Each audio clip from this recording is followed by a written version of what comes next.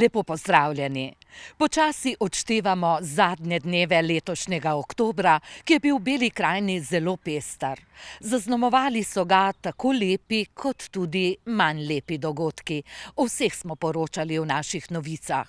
V tokratni zadnji oktobrski obzornik pa smo skušali strniti le lepe, vesele dogodke. Zato ga začenjamo z dnevom mlade Portugalke, ki so ga že osmo leto zapored pripravili člani Društva vinogradnikov Metlika in tamkajšnjega turističnega društva Vigret. Enajst vinarjev, največjih pridelovalcev Portugalke, je stopilo skupaj, med njimi tudi eden iz bližnje Vivodine na Hrvaškem, in napolnilo sod z mladim vinom, ki so ga s konjsko vprego pripeljali pred Metliški grad, nato pa slovesno popeljali na grajsko dvorišče, kjer so že čakali obiskovalci prireditve. Med njimi tudi velik del slovenskega vinskega kraljestva.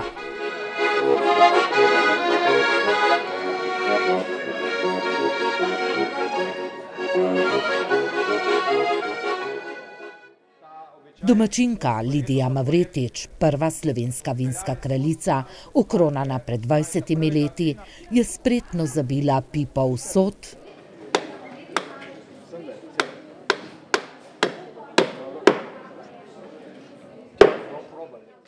in skupaj s predsednikom Metliškega društva vinogradnikov natočila prvi kozarec mladega vina Portugalka, katerega posebnost je, da v zgolj nekaj tednih iz mošta dozori v vino. Portugalka iz skupnega soda pravzaprav pomeni, da je enajst vinarjev prispevalo svoj trud in svojo letino, torej vsakega vinarja se da čutiti v tem vinu. Vino lepe rubinaste barve, ki zelo hitro dozori. Mlada Portugalka je, pravi Mavretičeva, sveža, lahkotna, vendar ti na koncu da vedeti, da je to tudi pravzaprav tudi resno vino. Zagotovo zaradi svežine da vedeti, da ga lahko spijemo kozarček ali več, pa vendar moramo paziti, ker tudi mlada Portugalka prej dozori kot ostala vina. Je pa sveža, lahkotna, diši po grozdju, po tropu, ki ga mešamo, in je prijetna, tudi letošnja letina mlade Portugalke je pravzaprav zelo uspešna. Vinarji so jo ponudili v pokušino vsem, ki so prišli na metliško grajsko dvorišče. Med njimi je bilo tudi petdeset avtodomarjev, članov društva Karavan Ljubljana. Smo prišli vaše kraje malo pogledat pa še na festival Portugalke. In mnogi so jo pili prvič. Ja, zelo dobro pitno vino, upam, da ni premočno, da ga lahko kakšen kozarček več. Je Portugalko ocenil Grosupeljčan. Hvalili pa so jo tudi Gorenjci. Dobra je, dobra. Lepo pitna, super. Ja, ta je zdaj prvi vzorec, ampak je zelo dober, ne vem, kakšen bo pa pol ta trideseta, koliko jih imajo. Pa prvič pijete Portugalko? Prvič, ja. Prvič pa jo je pila in poznavalsko ocenila tudi cvičkova princesa. Portugalka ima zelo prijeten, svež, sadni okus in tudi lep videz, spominja seveda na moj domači cviček, ki mi je tudi znan.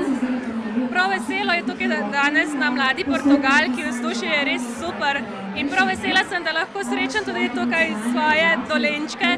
Pa smo še njih povprašali, kako jim je všeč Portugalka. Ste kaj probali Portugalko? Seveda. In kaj pa vi porečete? Super, ampak cviček je pa... Je pa res, da bo na letošnji cviček treba še malo počakati. Mlado Portugalko pa že lahko pijemo, so se strinjali Dolenjci.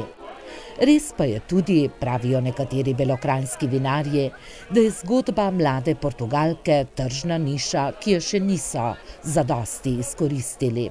Da je še, še veliko rezerve in da bi lahko Belokranjci prodali pol vina že v obliki mladega vina v mesecu, dveh. In kaj je boljše, kot v tako hitro prodati vino, dobiti denar ali pa ga dve leti, tri leta šparati pa negovati in pol na koncu še manj dobiš ko za tako mlado vino. Nekateri vinogradniki so prepoznali to priložnost, vsi pa še ne. To se je začelo pravzaprav že 30 let nazaj. Ampak Portugalke smo sadili pa le toliko, da smo je imeli dovolj za trgače, ko so prišli na resno trgatev. Tole, eh, torej vina je bilo 100-200 litrov, to je zagotovo premalo za govoriti o tržni niši. Ker so količine majhne, Portugalke ni težko prodati, pravi večina vinogradnikov. Slišati pa je, da nekateri že sadijo nove trte.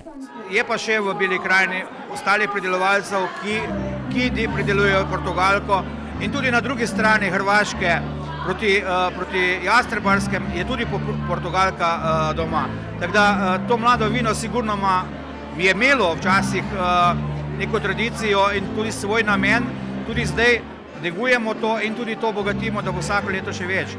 In morda bo kmalo metliško grajsko dvorišče premajhno za festival Portugalke. Mlada Portugalka je res nekaj posebnega, ne samo v Bili krajini, ampak v celotni Sloveniji. In uh, mislim, da se težko primerjajo druga rdeča vina z njo. Ja, res mi je všeč, uh, lepa je, sveža, sadna, takšna kot Portugalka mora biti. Obiskovalci prireditve pa niso pokušali le Portugalke iz skupnega soda. Vsak vinar je v pokušino ponudil tudi svojo Portugalko in obiskovalci so ocenili, da so letos najboljšo pridelali v vinski kleti Metliške kmetijske zadruge.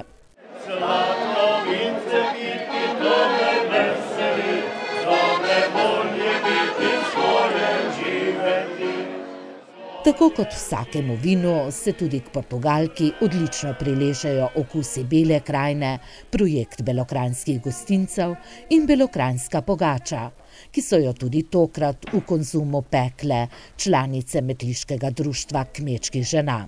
Pogača popije vino in človek ostane trezen.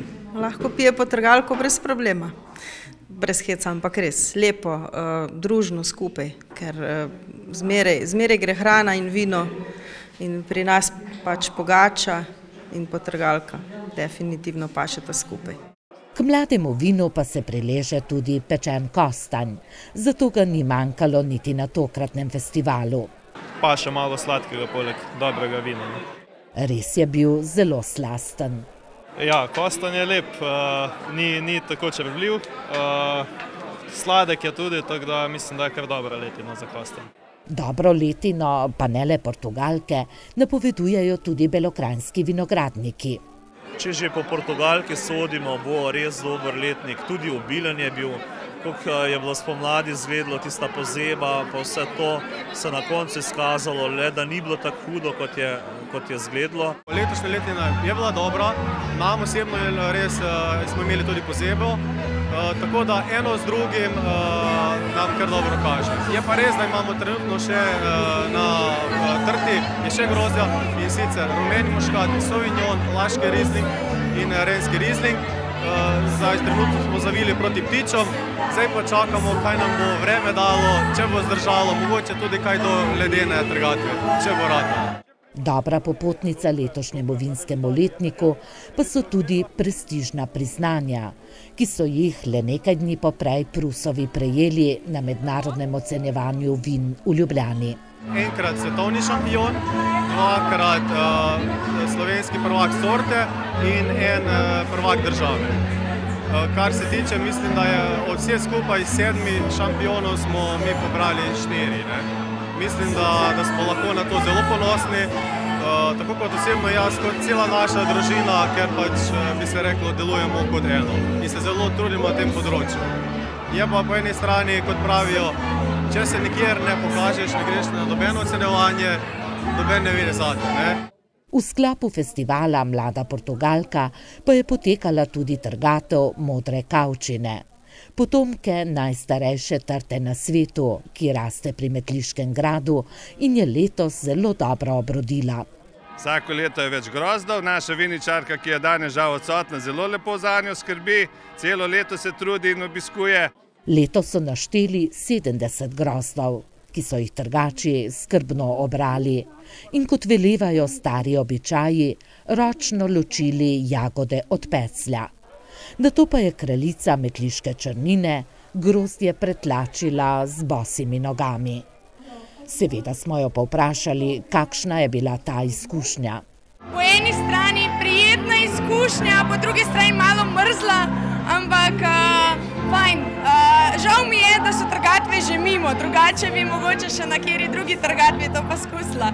Martin Pečarič je javno izmeril stopnjo sladkorja in ocenil, da se potomka Tarteslenta zelo dobro počuti pred Metliškim gradom. Se je kljub obilnemu grozdju nameril 72 ekslovih stopinj, kar pomeni, da se obeta zelo dobro vino, ki ga bodo na Martinovo ponudili v pokušino. Zaenkrat ga še nimamo za protokolarno. Mogoče se bo pa s časom razvila kakšna zgodba, tako kot zdaj že nekateri razvijajo to zgodbo. Zgodbo o mladi Portugalki, ki vsako leto privabi več ljudi v Belo krajino. Drugačne zgodbe pa v mesecu oktobru pišejo v Semiču. Tam se namreč že ves mesec vrstijo različni dogodki v počastitev občinskega praznika.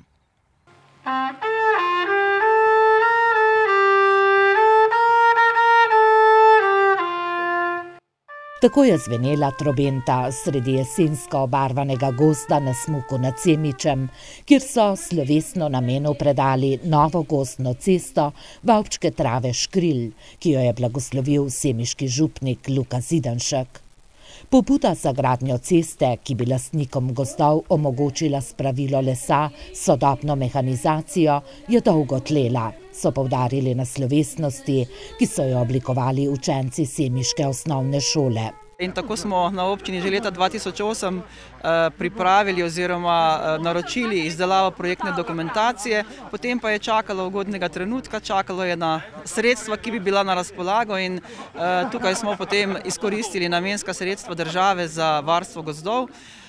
Pa moram reči, da smo baje tudi celo zelo red, med redkimi, ki so to storili, da smo res odprli s tem denarjem nove prometne povezave in na ta način odprli pomagali k koriščenju tega gozdnega bogatstva, pa tudi marsikateremu pohodniku, kolesarju bo omogočen ogled tega dela območja pod Smukom in pod Semeničem. Najbolj veseli so seveda lastniki gozdov na tem območju.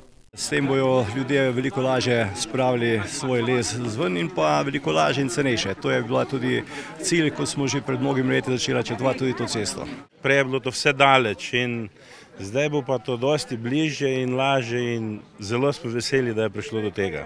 Za te občane, ki imajo tukaj svoje gozdove, je to pomembna pridobitev, ker dosedanje prometnice tega niso dovoljevale, da bi se lahko koristil ta gozd, da bi se lahko izkoriščal in pa les vozil ven. Enostavno ni bilo dostopno na določenih delih. Gradnja tisoč štiristo sedemintrideset metrov dolge ceste je stala skoraj petintrideset tisoč evrov, ki jih je, kot že rečeno, občina zagotovila iz naslova namenskih sredstev države za varstvo gozdov. Prijavili pa so se tudi na razpis Evropskega sklada za razvoj podeželja, vendar na odgovor še čakajo. Zelo dolgo to meljejo, tako da mi smo enostavno začeli z izgradnjo, da smo tudi porabili namenska sredstva. V tistem drugem delu, če bomo uspešni, bomo pač imeli še šestnajst tisoč šeststo evrov, ki jih bomo lahko namenili ponovno novim prometnim povezavam nekje v dolini. Že snujemo oziroma načrtujemo, da bi bila to prometna povezava od Čerešnjevca proti Dobravicam. Glede na to, da je kar šestinšestdeset odstotkov območja semiške občine pokritega z gozdom, so gozdne ceste zelo pomembne za občane. Mislim, da je občina kar dobro prepredena z gozdnimi cestami, ampak v tem delu pa dejansko res ni bilo in ta cesta Vapčke trave Škril in pa cesta od Table proti Ravnemu Bukovju, ki jo tudi, Bukovju, ki jo tudi ta trenutek še dograjujemo, bo odprla velik del tega prostora. V naših glavah pa tudi v interesu ljudi pa so še razne prometnice in upam, da bomo s skupnimi interesi, skupno voljo našli tako investitorja kot primerne terene, v glavnem pa lastnike, ki so pripravljeni sodelovati, odstopiti svoje, svojo zemljo.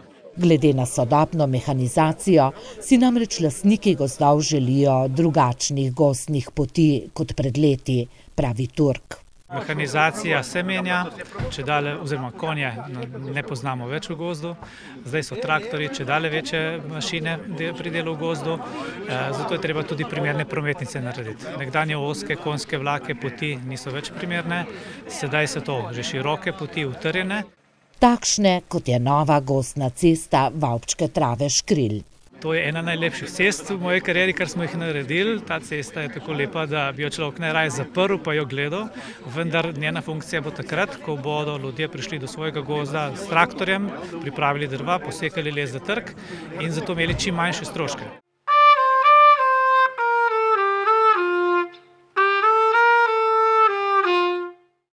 Teden poprej pa so v sklopu semiškega občinskega praznika odprli celovito urejeno ulico Podklebici v Semiču. Tudi tam se je ta investicija pripravila kar veliko let, odkar je bil sprejet zazidalni načrt. In potem se je nekako infrastruktura gradila po delčkih, tako kot so, kot so bile stanovanjske gradnje. Letos pa so se odločili, da bodo ulico celovito uredili. Zgradili so štiristo sedemdeset metrov pločnikov in postavili javno razsvetljavo s sedemnajstimi svetilkami. Razširili tudi cesto, omogočili neki varen prehod in pa tudi lep izgled tega dela Semiča, ki je nekako povezan tako z zbirnim centrom kot tudi s kotlovnico na daljinsko ogrevanje. Tam je kar nekaj transporta, ta transport bo usmerjen tudi avtobusni prevoz za otroke, ko bomo naslednje leto, upamo, zgradili tudi povezovalno cesto do osnovne šole, ki bo tudi zagotovila neko določeno varnost v okolici šole, ampak se bo vršila po tej cesti v ulici Podklebici. Vrednost vseh del je znašala skoraj tristo sedemdeset tisoč evrov, ki so jih v celoti zagotovili v občinskem proračunu. Sicer pa se v Semiču lahko pohvalijo, da imajo sedaj center kraja, glavne vpadnice in večino ulic lepo urejenih. Te glavne stvari so nekako urejene, poštimane, bolj bi bilo potrebno iti navzven, na podeželje, to je Stranska vas, tudi Štrekljevec v samem delu naselja ob cesti, tako da bi tam bolj rabili, pa seveda Podreber, kjer imamo tudi že projekt izdelan in bi želeli v sodelovanju z direkcijo razširiti cesto, tudi zgraditi pločnik, razsvetljavo, avtobusna postajališča. To bo velik zalogaj, ampak potem pa lahko rečemo, da bo naša državna cesta s to investicijo, ki se trenutno dogaja, to je avtobusno postajališče na Kalu, s preplastitvijo do Štrekljevca, bo ta cesta tudi dejansko kar lepo prevozna. Občanom občine Semič čestitamo ob občinskem prazniku.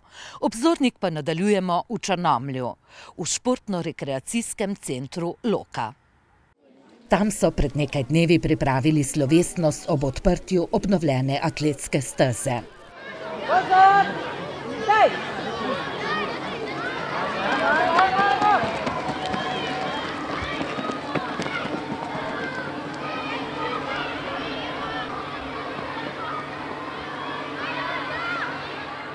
letošnjem poletju so staro, dotrajano atletsko stezo temeljito obnovili. Naložba je vredna sto petindvajset tisoč evrov. Slabih trideset tisoč bo prispevala Fundacija za šport, preostanek pa občina Črnomelj. Na tem območju je osnovna šola Loka, srednja šola Črnomelj, vrtec in že danes je dokaz, da mladina bo uživala v svojih teh aktivnostih na tej stezi. Prvi so jo preizkusili učenci Osnovne šole Loka. S tekom preko ciljne črte so jo takole simbolično predali namenu. Na naše vprašanje, kako je teči po novi atletski stezi, pa so navdušeno dejali: Zelo super, super, super. Ta steza pa ni pomembna le za srednjo šolo in Osnovno šolo Loka, ampak tudi za druge belokranjske šole.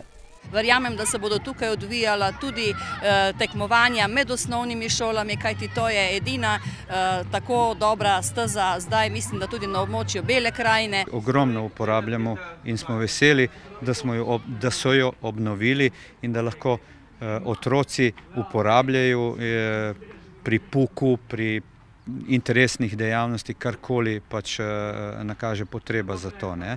Res smo veseli, da se je to obnovilo. Ker jo uporabljamo, moram povedati, uporabljamo jo, ne da smo jo dobili, ampak jo uporabljamo. O tem pričajo tudi rezultati, ki jih učenci dosegajo na atletskih tekmovanjih. Osnovna šola Loka ima kar lepe rezultate, smo eno 5-6 let zaporedom na državnih prvenstvih, pred parimi leti smo imeli državnega prvaka v teku na 60 metrov, lansko leto smo imeli tretjo metalko Vortexa ali žvižgača, kar moram pravilno povedati v državi, tako da vsako leto se najde kakšen talent, katerega mi, učitelji in profesorji športa, usmerjamo pol v atletski klub. Ta je bil zahvaljujoč bivšim atletom ustanovljen leta 2002, ko so obnovili nogometni stadion in zgradili prvo atletsko stezo iz umetne mase. Takrat smo začeli totalno iz nič in smo plavali počasi in zgodilo se je, da v kakem obdobju res ni bilo sploh odraslega trenerja, so bili atleti prepuščeni sami sebi. A so vztrajali in danes v klubu trenira veliko otrok iz vseh treh belokranjskih občin. Tako da imamo več kot 80 otrok v mlajših starostnih kategorijah, predvsem atletska abeceda, atletski vrtec, se pravi igra z atletiko, potem imamo pa še tekmovalno skupino atletov. V njej prevladujejo dekleta, ki tudi dosegajo zelo dobre rezultate na državnem nivoju, pravi Movrin. Sicer pa ima atletika v Beli krajini dolgo tradicijo, ki sega v petdeseta leta. Pod vodstvom profesorja telovadbe Marjana Kolariča so dosegali izvrstne rezultate že leta devetnajststo šestinpetdeset, pa tudi v sedemdesetih letih. In tudi danes v atletskem klubu trenirajo talentirani atleti, primanjkuje pa jim trenerskega kadra.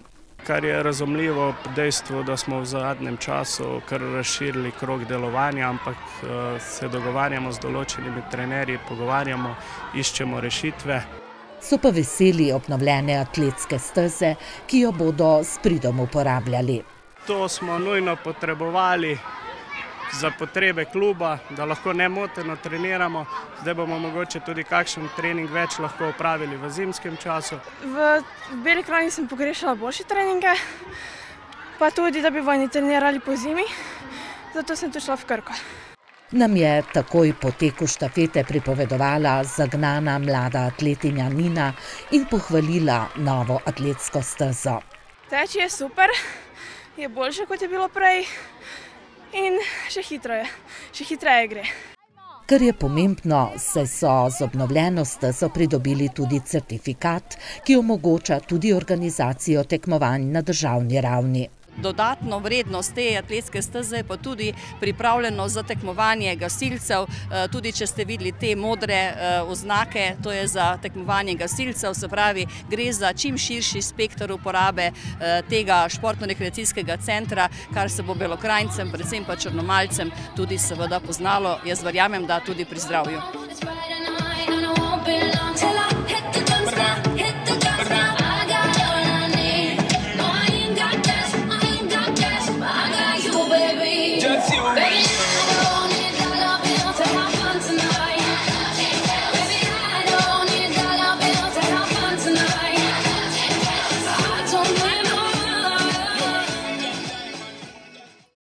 Zadnje minute tokratnega belokranjskega obzornika namenjamo jubileju.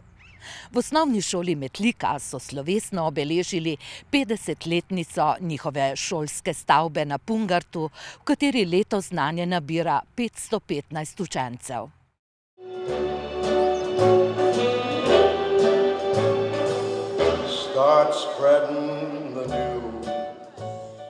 Tako so začeli s pesmijo, plesom in besedo prepleteno prireditev ob dnevu njihove šole, ki so jo ob pomoči učiteljev oblikovali učenci vseh starosti. Prireditev, na kateri so se skupaj z nekdanjimi učenci in učitelji spomnili leta devetnajststo šestinšestdeset, ko je bila zgrajena in slovesno odprta njihova šolska stavba. Redko se obeležujejo obletnice različnih stavb, vendar mi smo se odločili prav zaradi tega, ker takrat je Metlika dobila izredno sodobno šolo, ki je za ta čas res ponujala izredne tudi pogoje za vzgojno-izobraževalno delo. Na otvoritvi se je zbralo več kot tisoč ljudi, se spominja nekdanja učenka Ana Žlogar, ki je takrat pozdravila zbrane. To je bila pa mega dogodek takrat za Metliko, pa za sploh za uh, šolstvo, ne? Ker da je takrat Metlika, ko veste, kaj je bilo nerazvito, leta 66 dobila tako šolo, ne? To je bil velik dogodek. O tem velikem dogodku pričajo tudi fotografije na priložnostni razstavi, ki so jo pripravili, in zborniku, ki so ga izdali ob jubileju. Ta obletnica nas je tudi spodbudila, da nekoliko podrobneje preučimo sami zgodovino šolstva in da jo zapišemo in da to ostane tudi zapisano nekje. Prav zaradi tega smo izdali zbornik ob tej priložnosti, v katerem je zapisano, da prve sledi šolstva v Metliki so pravzaprav iz leta 1575, saj takrat so že imenovani tudi prvi učitelji. Tako da zgodovina šolstva v Metliki ne sega 50 let nazaj, ampak daleč, daleč v, v obdobje, v obdobje protestantizma. Prvo šolsko stavbo pa so namensko zgradili šele leta 1889 na Partizanskem trgu. Po drugi svetovni vojni je postala premajhna, zato so se septembra leta 1965 lotili gradnje. Kljub temu, da so že 1. oktobra dela zaustavili arheologi, ki so na lokaciji šole našli več deset žarnih keltskih grobov iz mlajše železne dobe, je bila gradnja končana v letu dni in 18. septembra so slovesno odprli današnjo, še vedno lepo in sodobno šolsko stavbo na Pungartu. Seveda, ker je bil župan tudi tako sposoben, in ker so bili belokranjci na pomembnih mestih v Ljubljani, to je treba povedati. Ne? Zato se ta zadeva začela tako odvijati, da se lahko v enem letu tudi to zgodilo. Ne? Med učenci, ki so jih iz stare šole na Partizanskem trgu preselili v novo šolo, je bil tudi Božidar Flajšman, ki se takole spominja nove šole. Zgleda se je ogromna, ne? dolžina. Hodili smo po ti avli, uh, neskončna se nam je videla. Ne? V minulih 50 letih je skozi vrata te ogromne šole stopilo veliko generacij otrok, danes odraslih, uspešnih ljudi. Mnogi med njimi so si zanimanjem ogledovali priložnostno razstavo in stare črno-bele fotografije. Na katerih sem se prepoznala kot takratna pevka na eni od proslav osnovne šole Metlika pravi današnja ravnateljica srednje šole Črnomelj, ki ima zelo lepe spomine na osnovno šolo Metlika. Stavba je bila taka, kot je bila za tiste čase zelo moderna, zato se spominjam pouka kot zelo naprednega in uh, menim, da nam je osnovna šola Metlika nudila vse, kar nam je v tistih časih lahko. Uh, in menim, da je tako tudi danes, kar kaže tudi današnja uh, proslava oziroma razstava. Tudi Stanislav Vlašič ima lepe spomine na osnovnošolska leta. Kakšna pa je v njegovem spominu šolska stavba? Spominjam se predvsem potem, da je bila izredno velika, ker sem bil jaz majhen. Zdaj sem pa jaz velik, a šola je še zmeraj velika in prekrasna. In čestitam ne vem komu, ampak verjetno vsem skupaj, ki so ta čas živeli v tej šoli, da so jo ohranili v takšne kondicije, kot je trenutno. Lepa je. V 50 letih se je seveda na šoli zvrstilo veliko učiteljev. Zanimivo pa je, da so jo vodili le trije ravnatelji. Ivan Žele, Jože Mozetič in zadnja tri leta Željka Janjac. Šola se je dogradila in to za potrebe devetletke, pomeni tam nekje leta 97-98.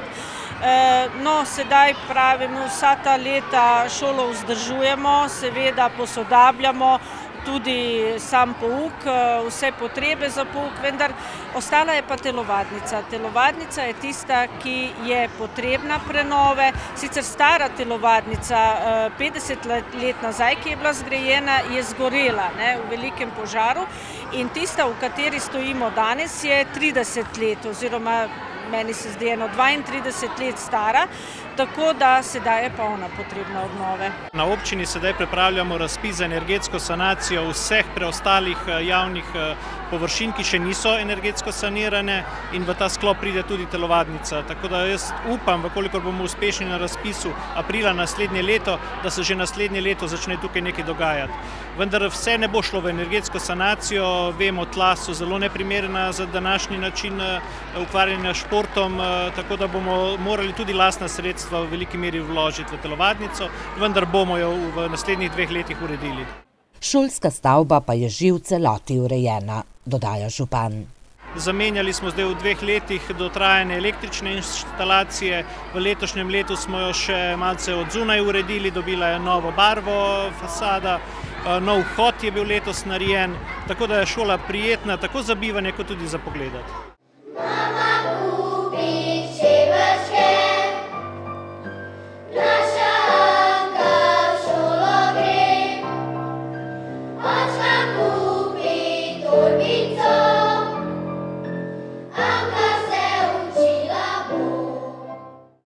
Tako smo sklenili zadnji oktobrski belokranjski obzornik. Ostane mi le še, da vam zaželim lepo sončno jesen in povabim k ogledu belokranjskega obzornika znova čez štirinajst dni.